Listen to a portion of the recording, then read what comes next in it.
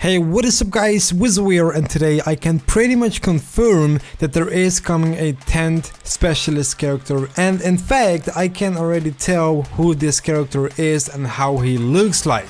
But before we starting with the video I just want to let you guys know that this is no April Fool's joke or whatever and that this information is leaked. But even though it is leaked I can yeah pretty much confirm this because it just makes so much sense.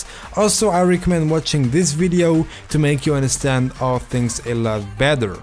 So guys, the 10th specialist character is the man from the black market. In previous video we discovered that the name for this specialist is Blackjack and yeah, now we know who it is. And how do we know this? Check the first link in the description and you will find out. A Reddit user by the name of ATVI Assist posted this post with a bunch of links where you can hear his voice in a multiplayer match for example, where he is basically talking about the exact things we mentioned in yesterday's video. So yeah, now it all makes sense. The 10th specialist character is the man from the black market, Blackjack.